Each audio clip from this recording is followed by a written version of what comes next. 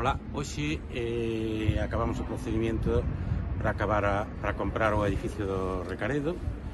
Eh, primeiro fíxose unha, da, unha tasación oficial, enviouse a Xunta de Galicia, a Xunta de Galicia concedemos un crédito para compralo por valor de 809.000 euros máis o 10% co impuesto, en total 890.000. Eh, ingresou o noso diñeiro xa en diciembre A partir dese momento fixemos unha opción de compra que vencería o viernes que ven e os servicios técnicos fixeron os, os informes correspondientes.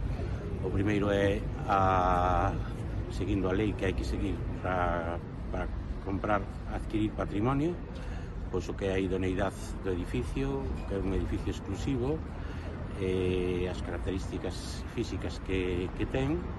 Tamén se fixo un informe por a parte eh, jurídica, describindo todos os procedimientos que hai que facer e tamén para parte de, de secretaría. Todos, todos eses documentos eh, están no expediente para que nos queira consultar, eh, preparouse a escritura pública, eh, hoxe firmamos a escritura pública, eh, mañá ten que ratificar un en Madrid, e eh, a partir de en de días ingresaremos o dinheiro e o edificio xa será pro, eh, propiedade municipal.